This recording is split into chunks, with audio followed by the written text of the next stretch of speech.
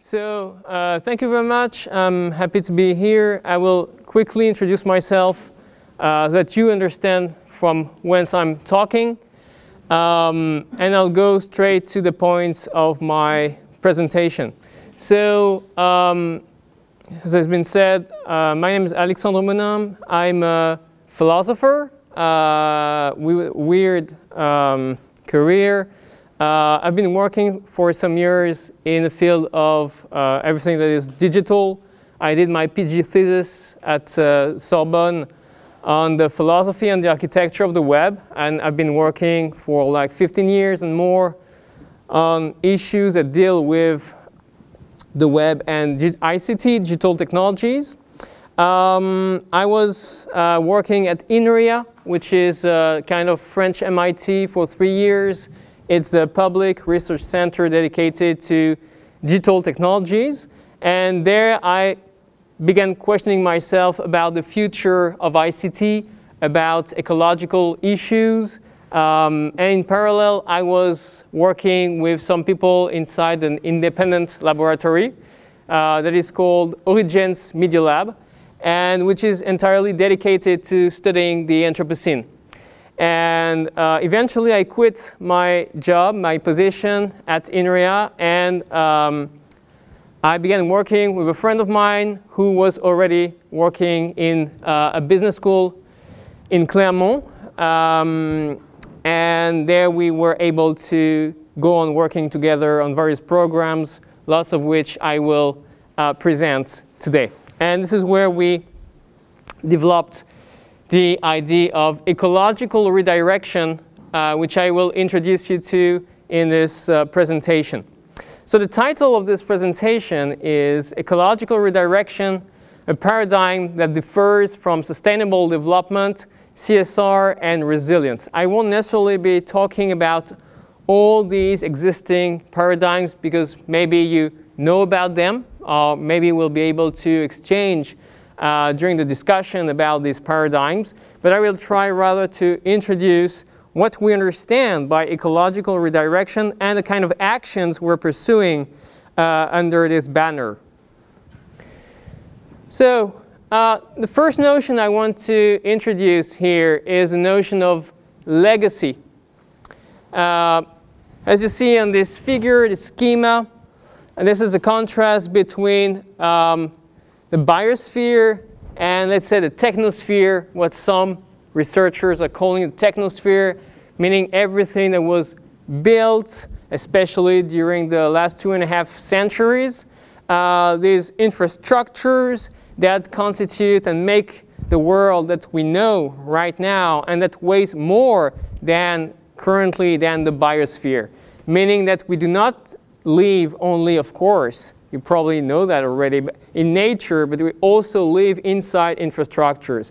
And part of the issue right now is how we deal with the technosphere, what we do about that, and often the attitude of researchers or people critical of these elements is just to criticize them.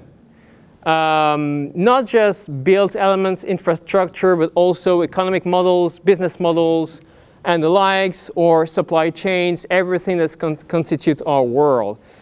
And with Diego Oliva, a friend with whom we developed this notion of ecological redirection, we thought that criticism wasn't enough to really take care of this because you may criticize capitalism, of course, that will not make it disappear.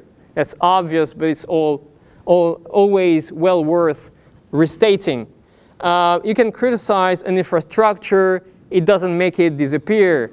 And whether this infrastructure is here for a long term or not, whether it's a good idea to have it, um, it won't change its course. So the question is, how do we deal with these um, entities outside of the traditional attitude, which is just to criticize them and to maybe write a paper or write a book but the paper, nor the paper, neither the paper nor the book will do the job of what's needed to deal with these realities. So how do we deal with such realities? How do we inherit them? That's one big question for us. And the other question is if these realities are not sustainable, and lots of those, of course, are not sustainable, how do we shut them down? How do we dismantle these realities, like concretely? And here the knowledge to do, to do so is often lacking. There is, of course, a lot of teachings in business schools and elsewhere about innovation, how to innovate, how to produce new stuff, new things. There, is, there are ongoing studies about uh, alternative to innovation, like uh, um, repair studies, maintenance studies, so insisting on the importance of maintenance and uh, uh, repairing is one move beyond innovation. But maybe that's not enough. And there is very little about shutting things down, getting rid of them in the proper way, dismantling them, disaffecting them to reaffect them to something else. And this is precisely what we think is especially important um, in light of the Anthropocene and uh, whatever. So to, yeah, that's the cover of a book we published last spring uh, it's called precisely Legacy and Closure, an, eco an ecology of uh, dismantling. And um, that was written by myself, Diego Landivar, and Emmanuel Bonnet. It's kind of a summary of our program. To contrast this, um, the view I want to introduce you to with existing views, especially CSR and others, uh, with the kind of framing that is extremely important in global policy about ecology, but also in CSR the level of organizations and even elsewhere. I want to uh, read a quote from a book by a German political scientist named Stefan Aykut. Uh, it was published in French two years ago, and it's entitled The Climatization of the World. And he describes the ongoing um, global policy about climate change and ecological issues. And he says this, this model is based on so-called end-of-pipe measures. We'll try to regulate outputs and therefore greenhouse gas emissions. International negotiations will therefore mainly concern the distribution of the global efforts to reduce emissions on the other hand, we will not tackle the question of inputs, the processes that determine the evolution of emissions, such as energy production, industrial development models, or the functioning of the world economy. And so basically what he's explaining in this book is that at the level of, the, well, let's say on the side of a strategy uh, and the core functioning of the world organizations, uh, the IMF and others, um, it's, what is fixed is the strategy that countries will follow in order to maximize their development, basically. For what reason, that remains to be discussed, but basically that's that. And then you have other institutions uh, like the IPCC, the IPBES, and others, uh, which are raising the alarm about uh, climate change, about um, planetary boundaries and the likes. Because of course the problem is not just about uh, climate change, far from that. And they do not have the power to wait on the policies that are being adopted. Uh, and the measures they can recommend here uh, are only um, not strategic but tactical measures. And lots of these tactical measures are about how we may separate our activity from the consequences of our activity. By using more efficient technologies, for example, uh, that will need less energy, that we have a, a, a smaller output in terms of green gas, um, greenhouse gas emissions and the likes. And so the, the framing of the international order uh, ecological issue is precisely that the policies are set at the strategic level and what remains to be done at a tactical level are mainly um, technological solutions because this framing mainly allows for technological solutions, tactical solutions that will not tackle the causes of what is really happening, uh, like the imperative of growth, development, and the likes. So there is this idea of separating one's core activity from its consequences through uh, energy efficiency, technological efficiency, and the likes, right? And this also applies to organizations. Uh, within organizations, lots of organizations have a core activity, uh, and this activity sometimes has bad consequences for the environment, and the issue is how we may diminish these uh, bad consequences, sometimes framed as unforeseen consequences. As if we were able to detach consequences from causes or to min minimize consequences. But the point rather, and I will try to explain that and also maybe during the discussion, is that a lot of these consequences are not really consequences. They are rather requirements. If you are producing chocolate, for example, well, that will probably need you to cut down trees and forests and destroy forests. That's not an unforeseen consequence of your activity. That's a requirement for your activity. And that is, of course, very, very different. And to deal with a consequence and to deal with a requirement are two different things.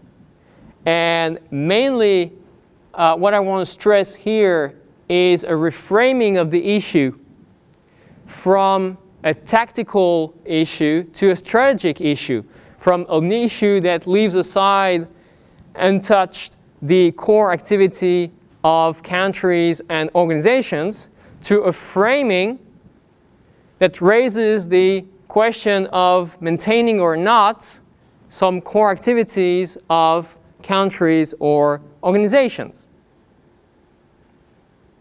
And maybe shutting down some activities because we won't be able to detach or minimize their consequences or even maybe won't be able to simply go on with these activities.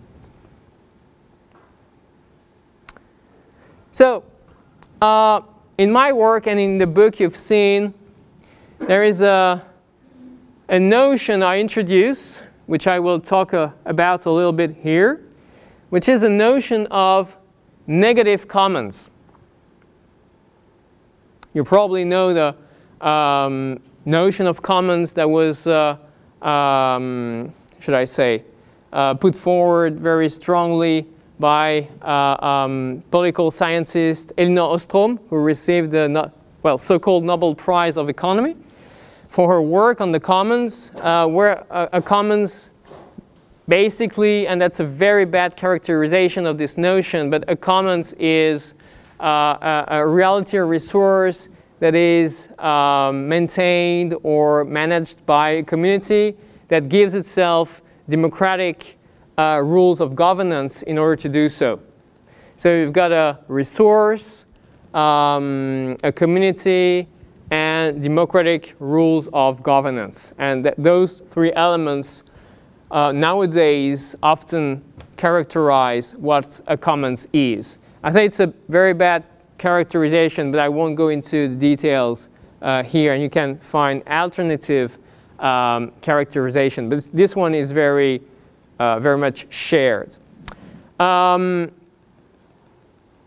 but with the commons, and that's a question that is shared by both Elinor Ostrom and uh, Garrett Hardin, uh, the question is how to avoid the commons from being destroyed through consumption, and whatever? Um, and that's a shared question.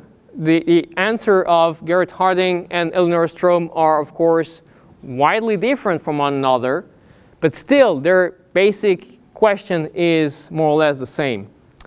Um, it struck me that what is maybe the, the most prevalent question right now if we begin thinking about legacy and legacies in the plural is how, what exactly we're going to inherit and things, of course, whose very existence may be threatening um, the inhabitability on Earth, and how do we deal with that? How do we deal with that?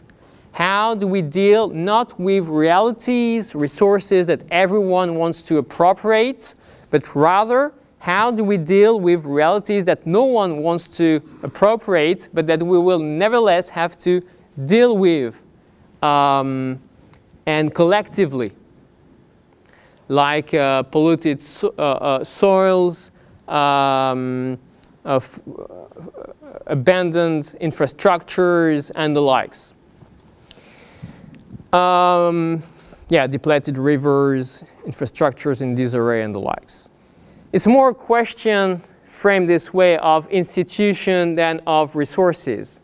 How do we organize the way we collectively deal with these realities instead of how do we uh, exploit resources in a sustainable way? Um, we cannot align our understanding of negative commons and of what I call bucolic commons if we understand commons first and foremost as being resources, which is a problem to understand commons this way anyway. Rather, we have to understand the commoning, the action of producing the commons, instituting the commons, has an institutional practice through which different realities are being acknowledged has negative commons and taken care of whether these realities are positive or negative, bucolic or negative. And the point here is we lack institutions to take care of negative commons. If we go back to my first slide on legacy, a lot of the elements of the technosphere precisely are what I call negative commons. Commons that um, no one wants really to uh, acknowledge has negative commons and appropriate has negative commons in order to take care of them, dismantle them. But negative commons because their very existence is threatening, again, the inhabitability of the earth. So unlike traditional approaches like corporate social responsibility, which is uh, more interested in um, dealing with the consequences of um, the activity of organizations, detaching these consequences from these activities, which is basically, unfortunately, impossible. Unlike sustainable development, unlike green growth, ecological redirection considers uh, that it will not be possible to maintain everything, everything that we know um, in terms of infrastructure, in terms of living conditions and the likes, it will not be possible and it should not um, be possible to maintain everything, especially these elements that are threatening uh, the future. That uh, uh, Australian uh, designer Tony Fry says they are defuturing, meaning they are depriving us from a livable future. Uh, these elements should be um, taken care of. And so trade-offs will have to be made and actually are already being made. That's a very important point. And so the question is, how do we do that? How do we dismantle, shut down, and how do we uh, deal with these trade-offs? I said that trade-offs are already being made, and that's actually the case. Uh, unfortunately, generally, they're uh, unplanned, um, done in an authoritarian way, and they are unaware or unconcerned about the people involved. Um, and if you look at the news around the world, you will find a lot of trade-offs that are being made by some governments. And unfortunately, they belong to the kind I've just highlighted.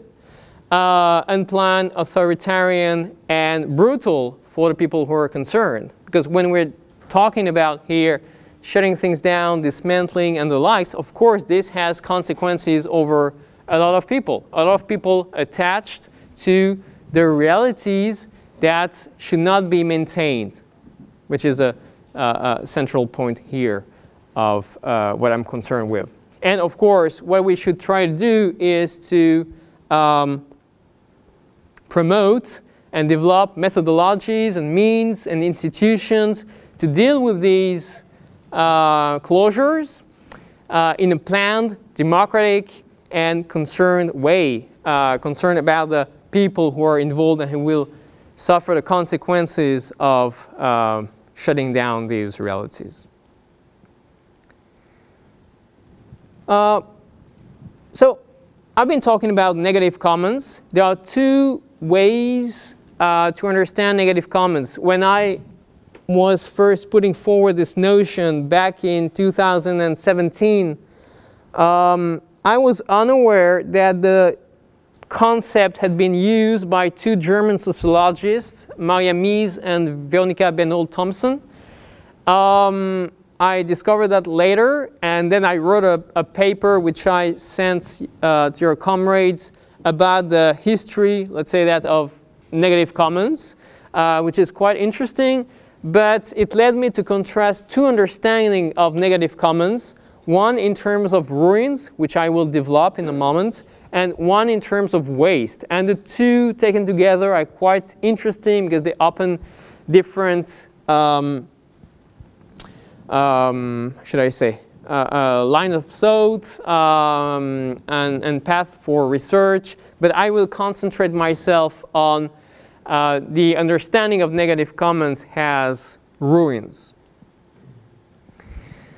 Um, of course, whenever one talk about ecological crisis, about the Anthropocene, about uh, maybe an impending collapse, and the collapse movement was very strong in France um, before the advance of the COVID pandemic. Uh, but there was a really strong phenomenon around this notion of collapse that was uh, going on.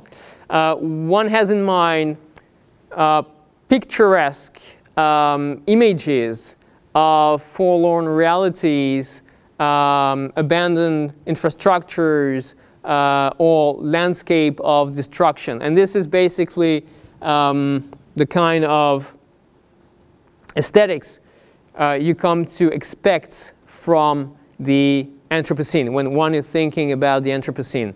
And this is what I'm calling ruined ruins, uh, ruins that look like uh, ruins, that look like picturesque ruins.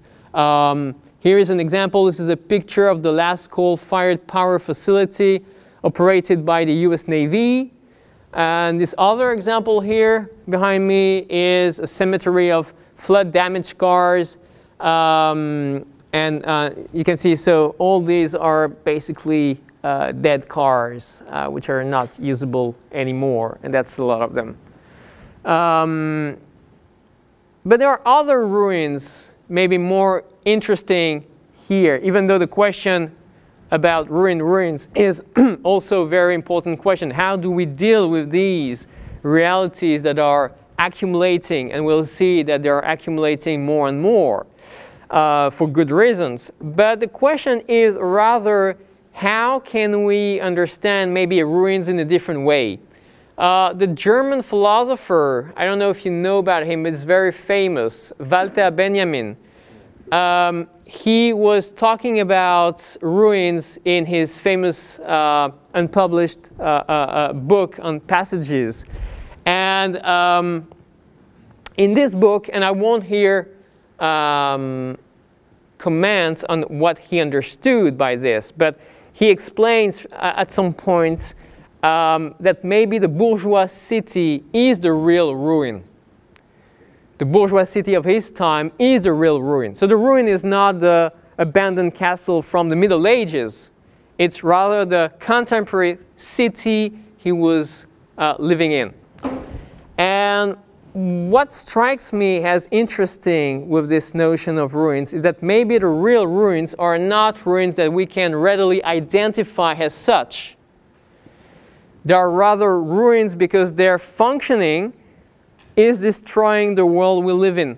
It's already destroying the world of some people, sometimes the people who are producing these elements, these artifacts, these devices. But their very functioning, not their destruction, is destroying the world we live in. Is waiting too much for the world we live in to go on. And what good example of that might be uh, the smartphone. I've got one, so I'm guilty myself. This is not about personal ethics, right? Uh, the, the, the, the, the, smartphone, because um, as I said here on this uh, uh, image, a world of minerals is in your mobile device. And this, these are all the uh, ores that are necessary to build uh, a smartphone. It's like 80% uh, of um, the elements that are known. And of course, it's already a ruin because, well, to produce a smartphone, you need uh, mines like this one and others. You need extractivism. Um, you need to have proto-slaves that are producing those smartphones, and all these elements are linked together. But more than that, smartphones might be what uh, physicists uh, who's working in this very university, uh, José Halloy, is who maybe you. I think it, yeah. I'm not sure, but I think he's part of the people giving the. I know he's not. He's, he was meant to be part of the of the people who are giving the course in ecological economics, but he's not right. He's not uh, there is uh, Berta, and the whole so he is um, he has a, uh, he's thinking about uh, oh and uh, there was this typo I'm sorry. But uh, he, he's thinking about uh, the status of current technologies. And he calls most of our technologies right now zombie technologies and he's contrasting this understanding of technologies and so most of our infrastructure devices and the likes had to, um, with, sorry, living technologies. So living technologies and zombie technologies. Why talk about zombie technologies? Uh, zombie technologies are defined as technologies which rely on finite resources with eventually limited availability. Uh, in terms of durability, um, uh, it's minimum in terms of the uh, working condition uh, through um, obsolescence or planned obsolescence. Um, distinction here is not necessarily especially important. And in terms of the end of life of these technologies, uh, it's, the duration is maximum because in terms of waste, they just cannot die. And this is why he's calling them zombie technologies. Just like the zombie, they cannot die. They are not part of uh, biogeochemical cycles, um, and so they uh, uh, uh, are not compostable. And they just accumulate um, in uh, uh, our geological strata along with chicken bones and uh, uh, uh, things made out of plastic. So the current geological strata are made of precious ore, chicken bones, and plastic, which wasn't the case uh, before. It's, it's quite new. And it can only accumulate, and they will never be, and that's the point here, sustainable. They cannot be sustainable for essential reasons. So even if they are made more efficient to produce, to consume, or whatever, even if we can put aside the cost of that, meaning the Jevons paradox, the rebound effects, even then, there will still be zombie technologies. And so he's contrasting these technologies with living technologies, which are based on renewals, um, which will work for a very long time, and whose duration as waste will be minimal because precisely um, they will enter in those cycles I've been mentioning, and so they will be combustible somehow. So the problem is that, of course, most of our technologies and most of the technologies that constitute the future we're expecting are zombie technologies. And so technologies um, whose production for the future is not a good idea, who are, as Tony Fry said, I mentioned him, uh, defuturing rather than futuring, meaning they are depriving us from uh, a future, uh, livable future, which of course is, is a problem. So the question becomes, how do we deal with that? How do we deal with the expectations we have put in innovation and technological progress when it's not able to deliver. And it's the case of how do we deal with what I've been calling um, obsolete futures, obsolete innovations. Things that will not um, improve the situation, but quite the contrary, make it worse situation is already dire, and there are lots of innovation that are coming that will make it even uh, worse. So how do we deal with that? How do we make things not happen? And we do not teach that in schools. We do not teach that to researchers. Researchers, when they are doing programs, uh, well, at no point when they're doing projects, this question is being raised there is no institution to raise this question. There is no institution to have this conversation in the research centers, in the university, in the organizations. So it's simply not happening. And we do not know how to do that. We're not trained to do that. We don't have methodologies and the right means to do that. Uh, just a side note about living technologies. It's not just about uh, resilience, and if you want to discuss resilience afterward, um, I will gladly do so with you. Um, the point is not here to use living resources or infrastructures to mitigate the effects of the extractive industry. Maybe you know, but um, the framing offered by resilience, the resilience paradigm, is sometimes to um, exploit the properties of living beings uh, through what is called resilient infrastructures to mitigate the effect of extractivist infrastructures. So we have old-fashioned extractivist infrastructures which are destroying the environment and we're going to use the power of living beings, living non-humans, to compensate for these destructions or to mitigate these destructions.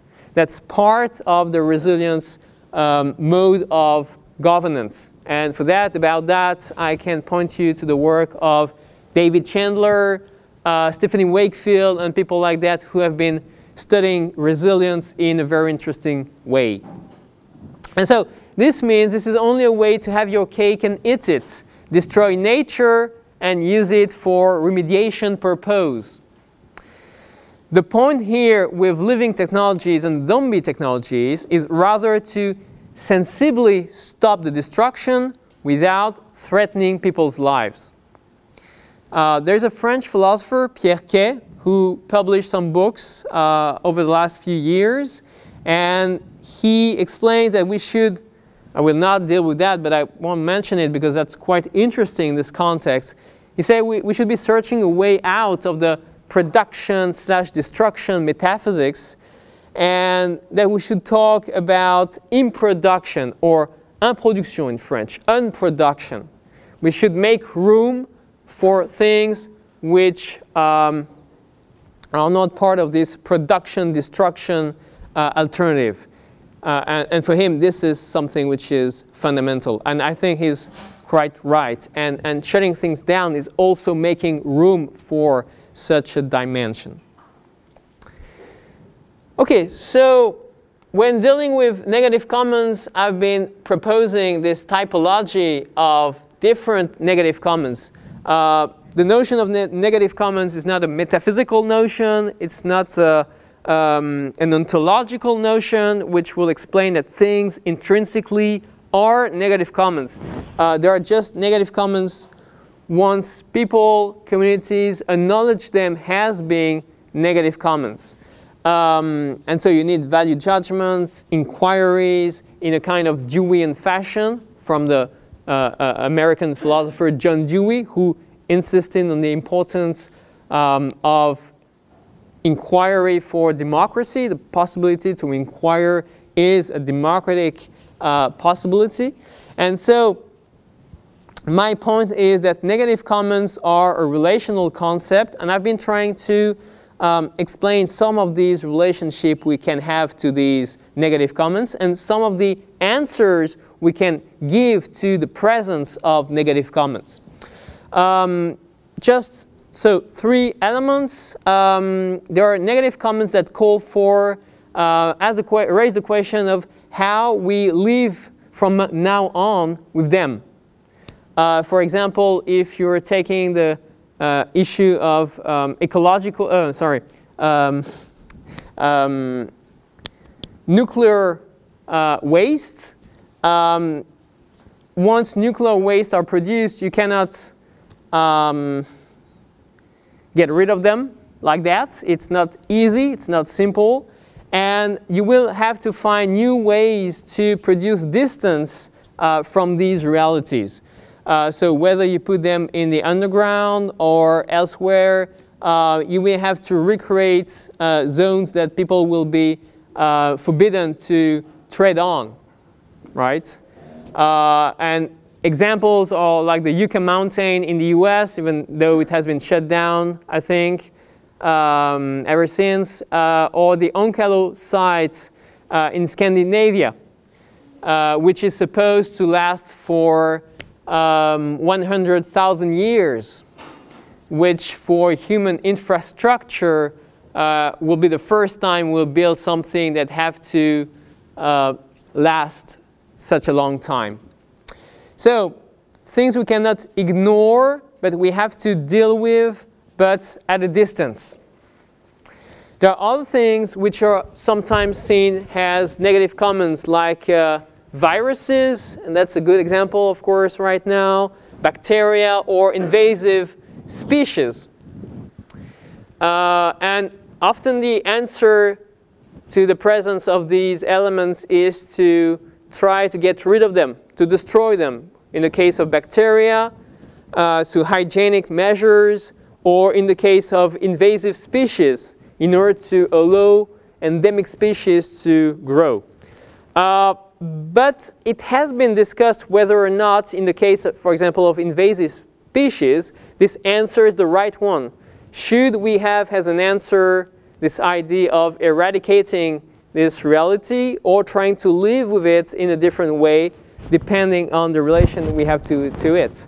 And sometimes in the environments or what we might better call the milieu, um, which are hospitable for these invasive species, well, sometimes they are uh, welcome because the endemic species have already disappeared and let's say the um, ecological services they provide are welcome in these environments.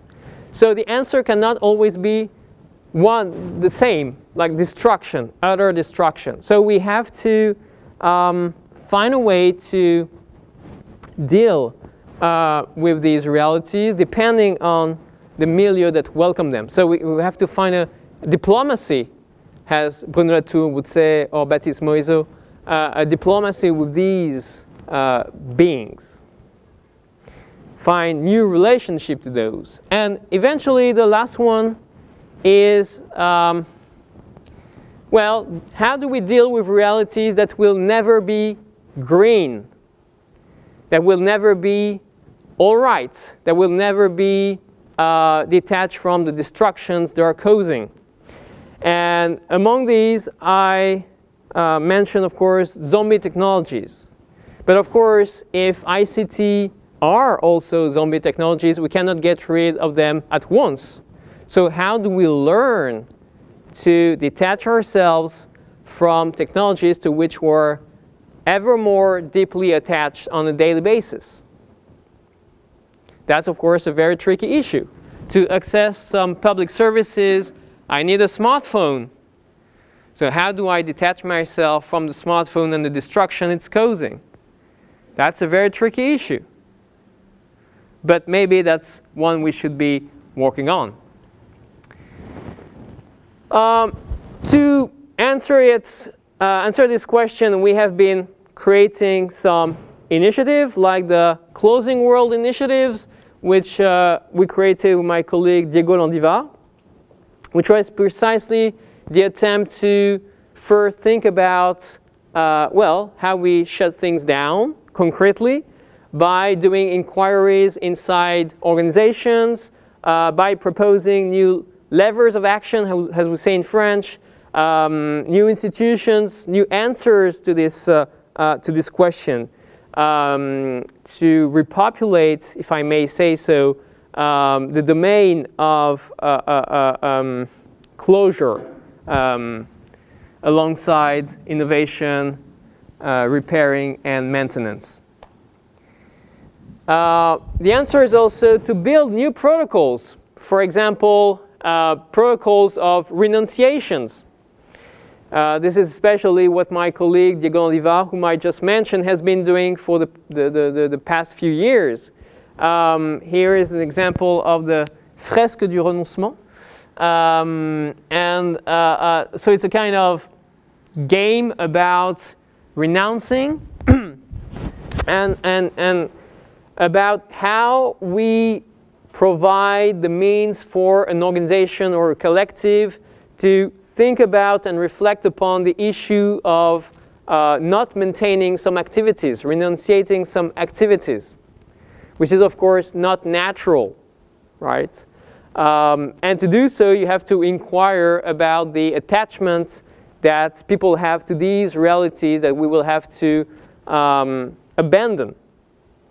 Otherwise, of course, renouncing will be brutal and violent. So the first thing is to do inquiries and to understand how people are related to infrastructures, uh, models, and the likes. So we were, for example, uh, with students, I will mention that uh, in a few seconds, and I'm almost already done.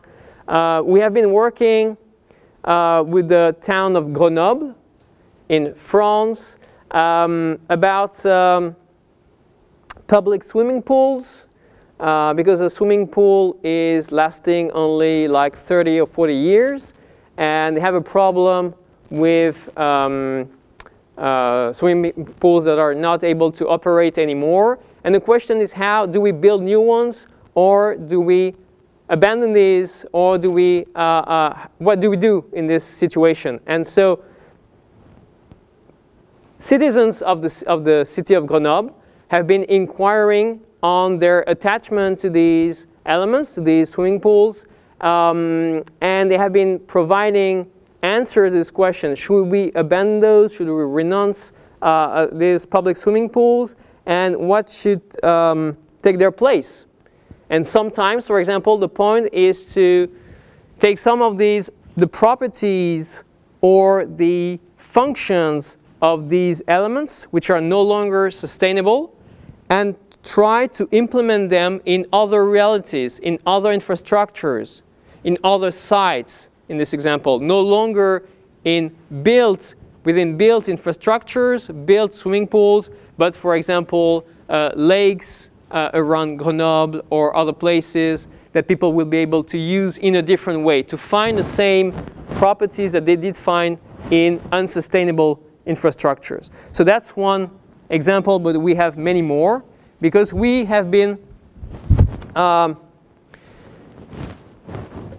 we have been proposing a Master of Science uh, over the last two years entitled Strategy and Design for the Anthropocene, whose goal is precisely to um, train people in ecological redirection, train people who will be um, for organizations, for collectivities, and territories that will be facing these trade-offs I've been mentioning,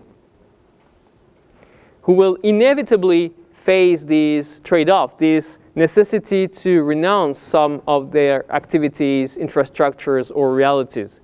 As my colleague Emmanuel Bonnet says, um, every organization right now, in whatever domain you may think about, is like a ski station. Um, not in the Alps, of course, but rather a ski station in um, the place I was living in around Clermont in the Puy de Dôme, uh, where they are basically facing the end of their activity and not in many years, but it's just coming. And if you look at every domain, all the domains are concerned, whether it's uh, fashion, whether it's uh, um, uh, um, flying, whatever domain, and we're talking more and more about the unsustainability and the impossibility to even economically maintain lots of activities. So we worked, for example, on stopping new construction in Ile-de-France, so right here, uh, the region around Paris, in order to evaluate not only the possibility and the benefits of this perspective, but also its feasibility, moving towards an economics of renovation um, through the conversion of building into, uh, well, sorry, the conversion of building into inhabitation being one aspect, especially as offices are deserted thanks to COVID adaptation. Um, as I've been mentioning, we accompany the city of Grenoble on the issue of its uh, swimming pools by associating the inhabitants to this investigation, but we also work with ski resorts uh, who know they are doomed, with parking lot managers, with insurers faced with situations that will no longer be insurable under the current conditions and the likes. Last year we have been opening like 15 uh, inquiries with organizations and uh, territories and collectivities. And uh, this year we are opening uh, around 20 of these, um, what we call commissions. So um, uh, a, a, bit more than 30 in two, two years. So we have to walk a fine line, and I'm going to end with this uh, almost, we have to walk a fine line between two pitfalls, leaving the technosphere unharmed, which threatens the inhabitability of the Earth in the medium term, or cutting tie with it, when the survival of a growing part of humanity depends on the technosphere.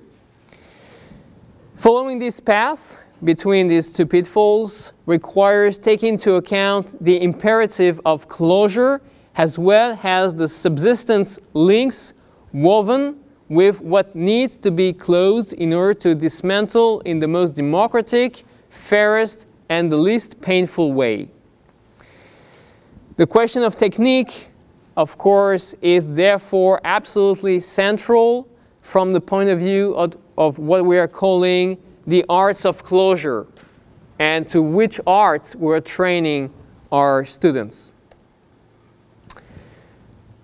To finish, and this will be my last slide, uh, we have to strive uh, towards a general economy of sobriety, what I call general economy of sobriety, because governments and institutions are already projecting scenarios which integrate sobriety as a fundamental factor.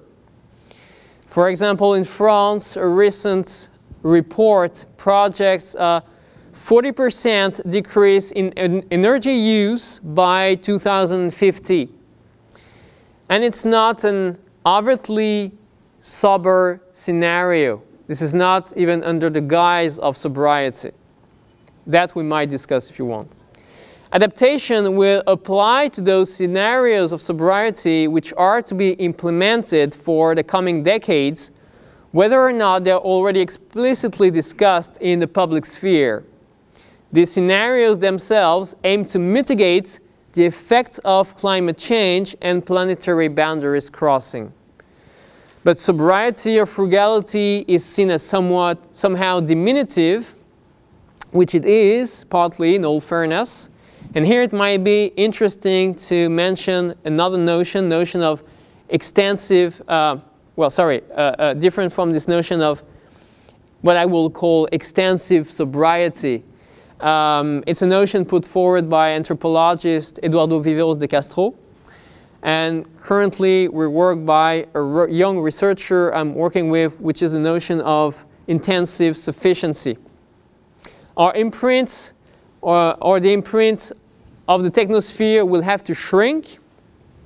We cannot grow indefinitely in a finite world, as we were uh, we are every day reminded right now. Um, but maybe for the world to remain livable, we may have to find infinity in the finite uh, world. And that's the point of intensive sufficiency. Through repetition, it is possible to derive enjoyment. Reading a book twice or manifold doesn't require multiplying it. Um, same with playing a musical instrument or playing some games. And so exploring the conditions under which this intensive sufficiency may happen, what I call the general economy of sobriety, is fundamental since uh,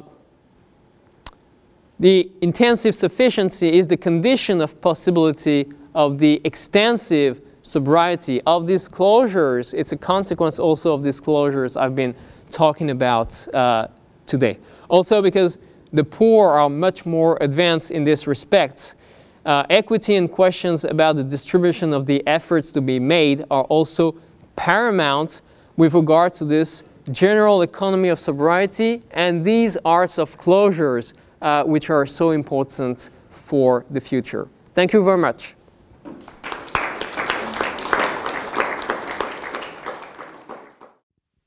Okay, uh, hi everybody. Uh, Thanks, Professor Monnin, for your excellent talk. Uh, now it is time for us to get into details about some of the concepts that you used both in your article and in your talk. Um, this is the outline of our presentation. Uh, I will be talking about two things. Uh, first, metabolic rift, um, which I sort of try to relate with waste as negative commons.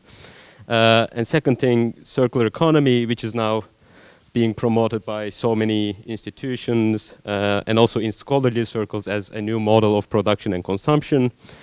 And then Aulia will continue with the comparison of the two terms, living tech versus zombie technologies, and he will also touch upon uh, social innovation as a form of redirection. And as usual, uh, we'll wrap it up with questions and discussions. Uh, first, a couple of remarks about the concept negative commons. Well, I find it quite strong in a way that how it enables us, uh, enables us um, to think um, commons from a completely different perspective, uh, which I think is complementary to the existing understanding of commons as something that is based on shared resources, communally managed, and, and of course within certain understanding of rules and governance. Uh, yet there are certain things that escape our attention, right? And uh, this is what you call realities. And I think this is very uh, a good depiction of, of the case. Uh, and these include waste treatment facilities, these include uh, nuclear power plants, uh, dried up rivers, and also all, the, all other impacts that we can think of of, of ongoing ecological destruction. Um, and the whole idea is that the communities may as well reorganize themselves and reclaim control over management of these issues, right? And these are the issues we've come to avoid over time. And it is a matter of identification more than anything. To what exactly, as communities, we should attach negative value, right?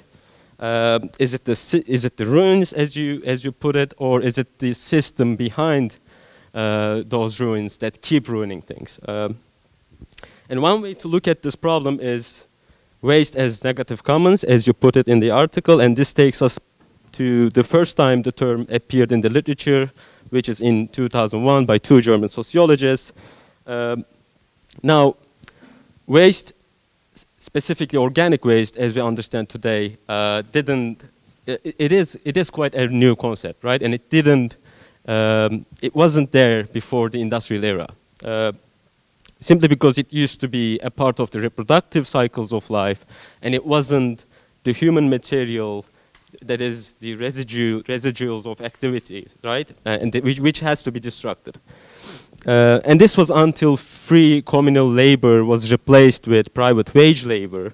Um, and perhaps the first time at such a large scale, this marked the first time the, the erosion of continuity between, between human communities and ecosystems. Uh, and the organic waste itself, which used to be considered as the part of this reproductive cycle, became something external and have to be dealt with. And while I was reading these lines, um, I, I, I asked myself, I found myself asking, didn't Marx talk about this? Um, especially this idea of losing control over not only the resources, but also the waste. Um, and this, this uh, thinking then led me one of the works of John Bellamy Foster, uh, environmental sociologist, where he tried to illustrate Marx had this idea, uh, which I just told you, uh, the, the very rupture between the relation, in the relationship between human communities and nature. Uh, and here are some excerpts from his work, uh, quoting Marx about his thoughts on agricultural, capitalist agricultural production. Uh, I'm just going to read them as they are pretty straightforward. Again, quoting Marx, capitalist agriculture produces conditions that provoke an irreparable rift in the interdependent process of the social metabolism, and metabolism prescribed by the natural laws of life itself. And what are these laws? Man lives from nature, nature is his body, and he must maintain a continuing dialogue with it if he is not to die. To say that man's physical and mental life is linked to nature simply means that nature is linked to itself, for man is a part of nature. And freedom can consist only in this that socialized men, the associated producers, govern the human metabolism with nature in a rational way, bringing it under their own collective control rather than being dominated by it as a blind power, accomplishing it with the least expenditure of energy and in conditions most worthy and appropriate for their human nature. Now, to visualize what Marx talked about, it was this loss of collective control, the sense the sense itself that led to a broken system which keeps producing excess waste and pollution due to excessive uh, use of chemical fertilizers in, in agricultural production. Uh, however, as, as, as capitalist societies developed, uh, this return back to earth and bringing the cycle back simply became impossible. Um, because there is now um, because there's now less capacity to recycle what is in excess, and what happens is that those excess waste in every form, including toxic form, now being dumped into the realm of the invisible, into the air, into the ocean, into the subsoil, into the economically inferior territories. Um, and in this sense, it's also a matter of scale, right? We're now talking about all kinds of infrastructures that that are ensuring the treatment of wastes of all kind. Uh, we're talking about nuclear power plants as well. Uh, so this means the, the, the, thing is that those infrastructures, that those institutions operate within the boundaries of private ownership. It is impossible to talk about any collective control over those facilities, over those structures and infrastructures. Um, and needless to say, waste is now a commodity that is being traded in the global market, right? Which mostly en ends up in, in developing countries because of their raw material needs. Um, so in line with all this, how do we see something like circular economy that is now being advertised everywhere? Um, I'm, I'm not going into much detail with this, but the idea is pretty straightforward. Uh, the current linear uh, material and energy flow model of, of extract, produce, use, and dump is basically unsustainable. Why? Because it is collapsing with the natural limits of our planetary boundaries. And then what do you do? You uh, reuse, you encourage reusing, remanufacturing, recycling that are circulating in the economy. And how do you do that? You optimize resource use, you standardize products for longer use, and you minimize waste creation or basically get rid of waste that you have in the end. Now, some critiques in terms of its limitations already exist in the literature. Uh, first, uh, it neglects the thermodynamic teaching that one neither create nor destroy matter, whatever resources are used up must end up somewhere in the environment. So imagining a fully circular economy where you have no waste and you closed all the material loops is simply not possible. Um, and second, as we know, rebound effect, when production efficiency increases by using secondary products or recycled products, that means that the end products will become cheaper, right? And this potentially will boost up consumption. And um, unless you not you're, you're not unless you're controlling for the physical scale of the economy of the growth economy, there's always a chance that those efficiency gains will be eaten up by the increase in consumption.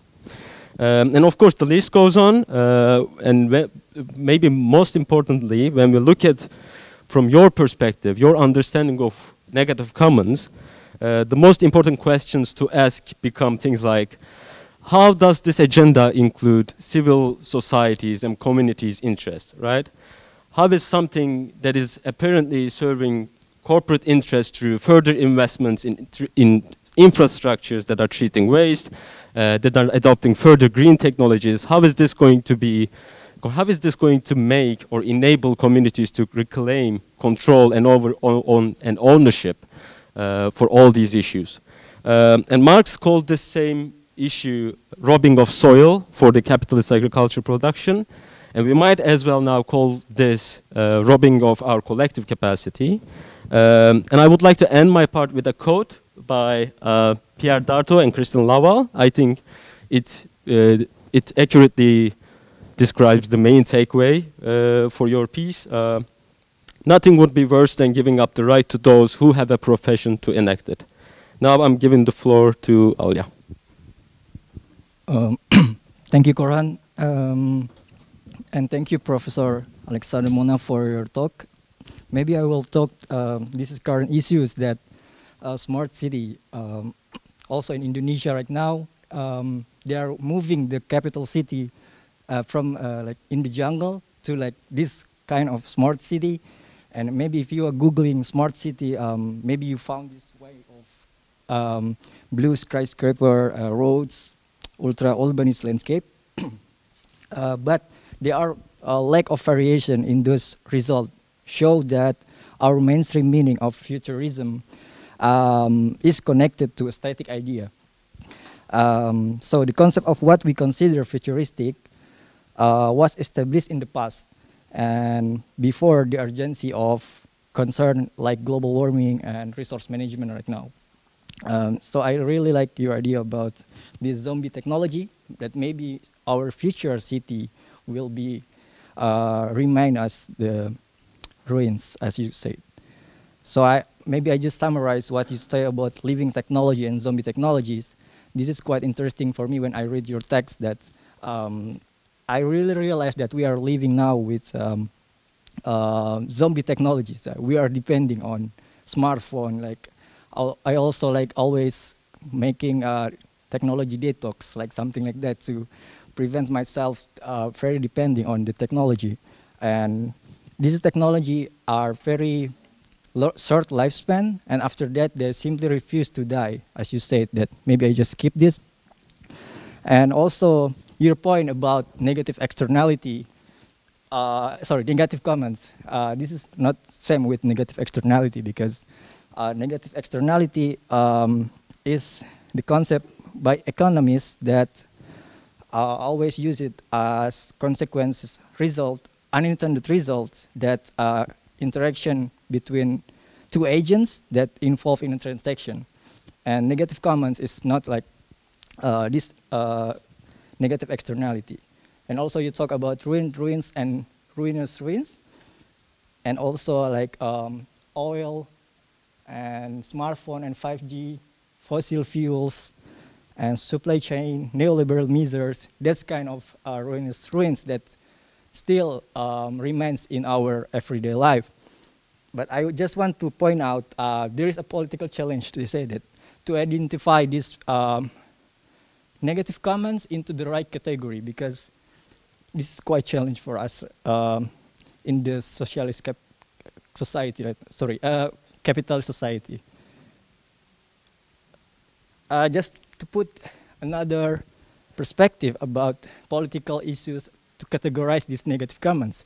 Indonesia right now, um, maybe this is very, very uh, disappointed for environmentalists around the world, where they are uh, categorized uh, coal power, sorry, coal ash as not hazardous.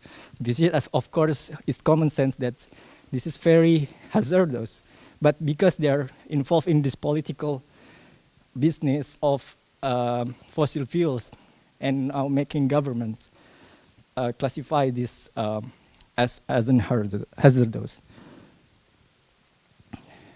So just I, I will come up with this maybe another form, emerging form of social innovation that we have um, uh, currently emerging in developing country or developed country.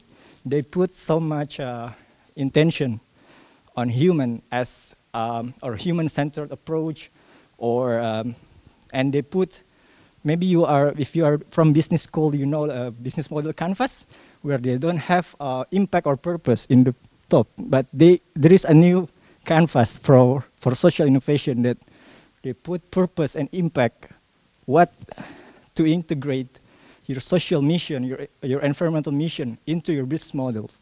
This is quite uh, interesting because uh, in Indonesia, for example, so many um, social innovation emerging right now. Uh, for example, this uh, waste um, from mushrooms, uh, sustainable material for mushrooms, where they, they can create another uh, another material for, uh, for example, later, yes, um, also fashion, sustainable fashion, and also waste management that creating more jobs, and this is sustainable seaweed-based packaging that we can eat our packaging. This kind of social innovation, I will mention that maybe, I don't know, uh, one of the path for our redirection in the future. Um, also, just to conclude, our maybe this is very new about B Corp certification, where we can put our um, corporation in the, uh, in the big corporation right now to involve in their own responsibility for our environment by putting uh, more, not only shareholder, shareholder in the center of their uh, orientation, but governance, workers, environment, community, and customers, um, which is, is this a, a, grew, a growing uh, also movement of B-Lab corporation, a B-Lab movement, if you are Googling that. Uh, some company like Patagonia, uh, in France, uh, Too Good To Go, um, many, many benefit corporation, B Corp certification that maybe one of them will be change our future corporation. But of course, these are critics for this new movement, um, greenwashing, of course, social washing that using this certification to use their um, they're making a, a image, a good image in the public, and also some critics by Gradaras, they say that this is only another vehicle by traditional system or tra traditional elite uh, in this capitalist society. Of course, this is um, this is a very early movement if we want to consider, but there is a potential too if we want to redirect our ecological and our uh, future um, Earth will be involving in this organization, in this business, we have to put them to have responsibility for the environment. So this leads us for our questions. You want to? Yeah. yeah those are some of the questions we've come up with. Uh, uh, first of all, how do you see degrowth, both as a movement and a body of research in terms of its capability in identifying the negative nature of commonalities, both structures and infrastructures uh, that you mentioned, in what areas it should expand its vision? Second, considering the existing business models as one of the ruinous ruins, as you mentioned, how should we envision their transition for the redirection path? Uh, and the last one, we live in an era which, in which zombie technologies are everywhere, and we tend to depend very much on them, including systems that are too big to fail. how can we be more aware and anticipate the future with constant innovation that might fall into this category? What is the role of individual in this? Thank you very much. Thank you. No, you don't need that. I know that. So um, if you try, could try to deal with that within 15 minutes, that would be very nice. So we can open the floor. Yeah. So thank you very much. Thank you for uh, all these uh, elements. It was very well, very well done. I'm really grateful, and thank you for these these questions. Uh, so I'll try to five minutes per question should make the trick. Um, degrowth is an, it's an interesting question because uh, we seldom use the word uh, degrowth, um, which is getting some traction uh, lately. That's not the first time, but uh, lately there are lots of press, at least in France, about degrowth. There is the uh, work of uh, Timothée Parrique, uh, who did a, released a big uh, thesis, PhD thesis on, on degrowth, and will publish a book about that. So a lot of people talking about it. The difference between our approach and degrowth, there are many of them, but of course we're uh, uh, aware of what is happening within the degrowth cycles. But uh, one important difference is that um, degrowth is mainly a political program. It's not, uh, uh, these are not recipes. Um, it's, it's really a program to convince people to take a certain direction. But imagine you are uh, managing a ski station and you don't know what will happen because there won't be any snow, the mountains are crumbling, and you're like, my activity has no future, more or less. If the answer is, well, degrowth, well, please um, go into our political movement, we welcome you, that will not be a very operating answer to the issue that you have. And maybe also the people who are confronted by these realities, by these perspectives, uh, do not adhere to degrowth. And probably because still the uh, number of people uh, who are explicitly degrowth militant is quite, uh, quite low. So we have to find ways to help these people, which maybe politically are not on the side of degrowth, but who are facing very tangible urgent questions about uh, what to do with their organizations, their territories, um, uh, and their activities in general. And so we are trying to provide very concrete answers and at the, I would say, the meso level, while degrowth is interested into in the, mic the macro level. So it's kind of a political program at the macro level, but it doesn't really have answers uh, in concrete settings. And that's not the main point of the people of the degrowth movement. Also, a difference will be, uh, how should I state it? That some people inside the degrowth movement, um, they confuse criticizing capitalism with acting. So you can criticize capitalism, say you get, we get to read, get rid of capitalism. That is not uh, helping somehow. And that does nothing against capitalism, actually.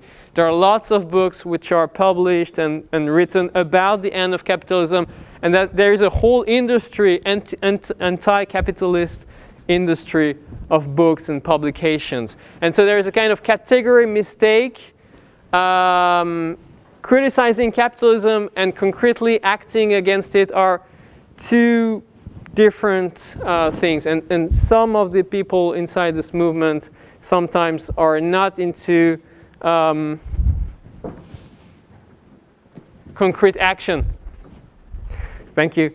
Uh, so that will be my, my first uh, my first answer. So they should, yeah, they should expand their vision by making it more practical, uh, even though it will be interesting to see how we can um, link the meso level with the macro level. Because of course, we also need some macro reflection about what we need to deploy in terms of political program, economic program. But in terms of action, I think that's too difficult to directly act on the macro level. And that's why they are sometimes powerless to act um, because they, of this uh, uh, problem level. Um, yeah, considering existing business models, how should we envision the transition to redirection path? That's a very good question. Thank you for asking. I didn't mention it, but we are currently working by using some of these uh, business models. Uh, the Canvas has been mentioned. There are others. There is the McKinsey matrix that is used in all corporations about investments. Um, and we are trying to hack these um, uh, models um, because people, managers, people inside organization know about them. They mainly understand uh, the world of their organization through the lenses of these uh, models they are using because they are very generalized. And so one point to operate the redirection is to start from these models and try to add some new dimensions. For example, in the investment matrix, the McKinsey investment matrix, there is just one uh, part dedicated to divestment.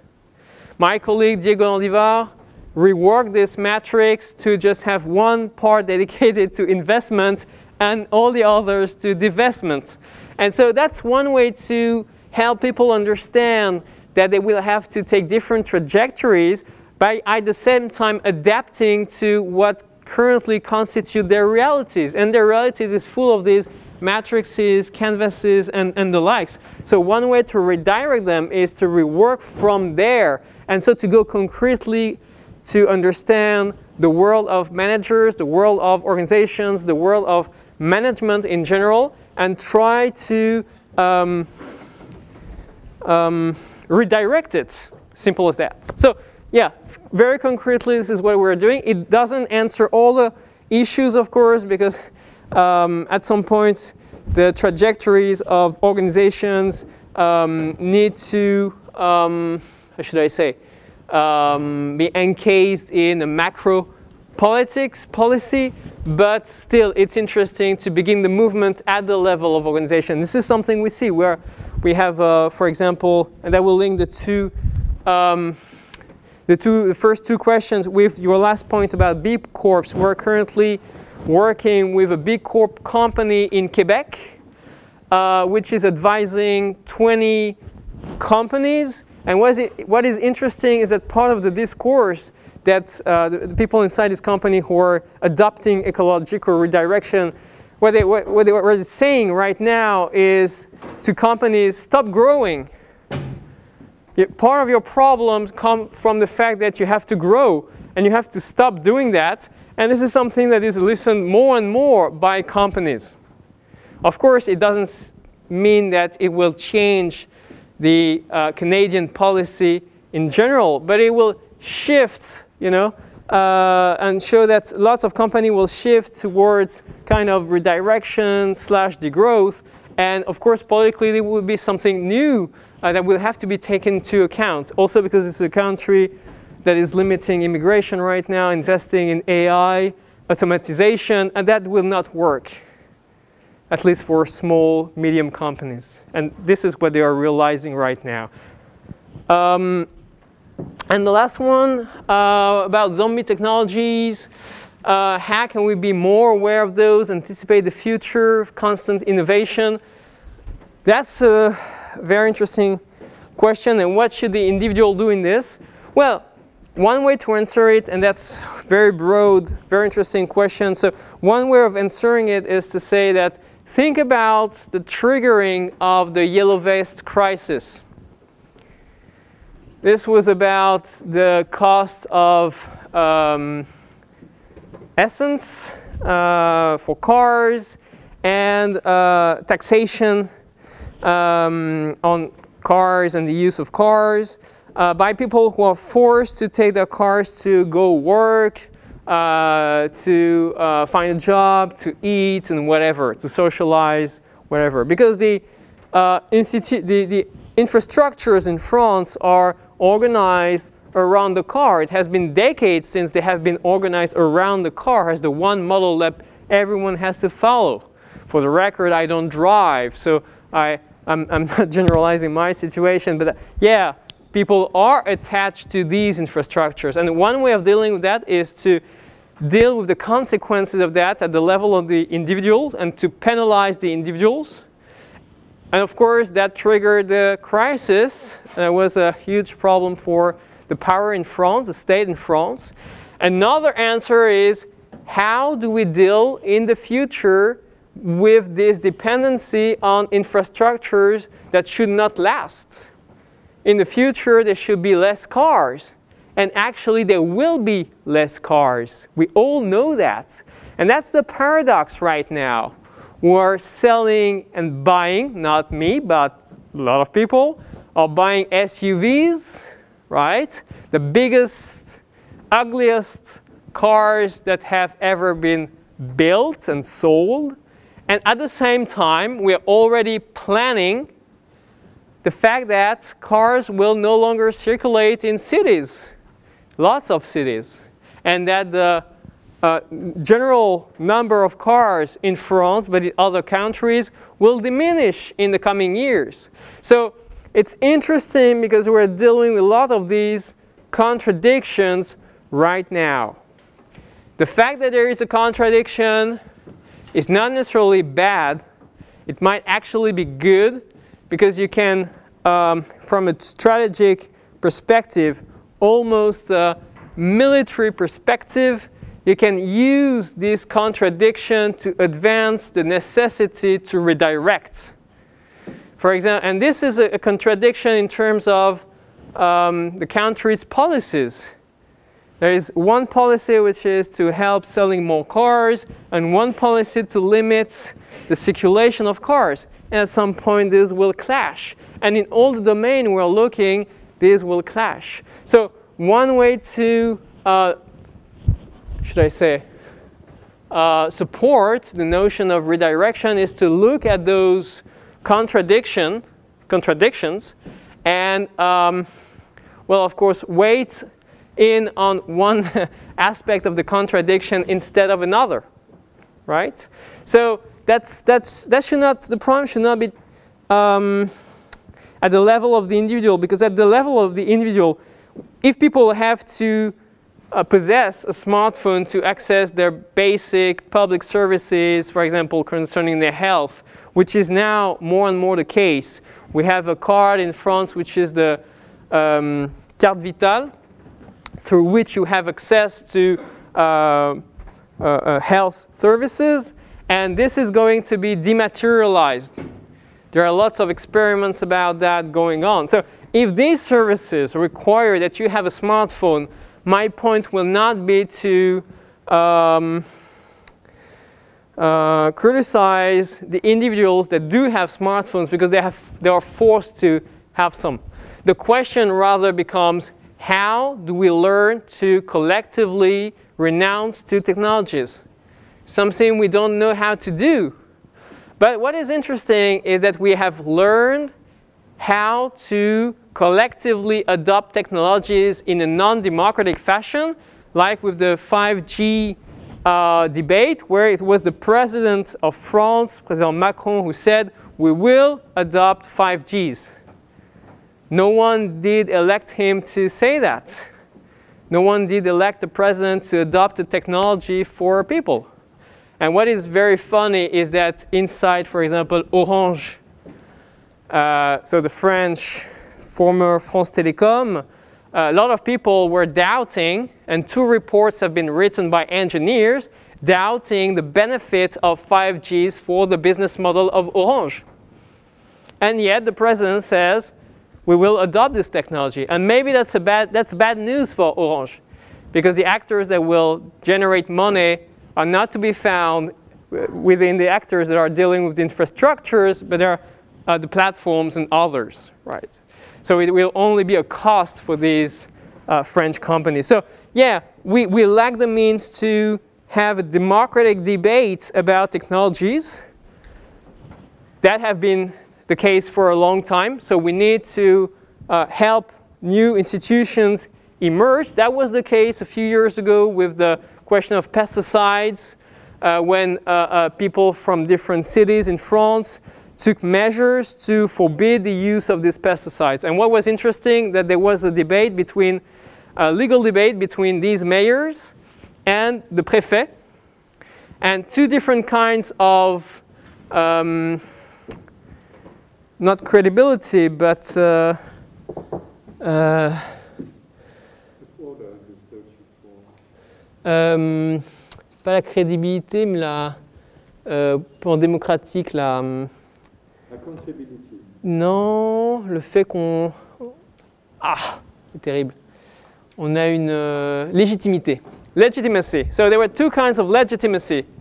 The democratic legitimacy with the mayors and the executive legitimacy of the préfet uh, with the executive power in France. So that was very interesting because that was a debate inside the institution. Not between the institution and what remains outside the institution, but inside the institution.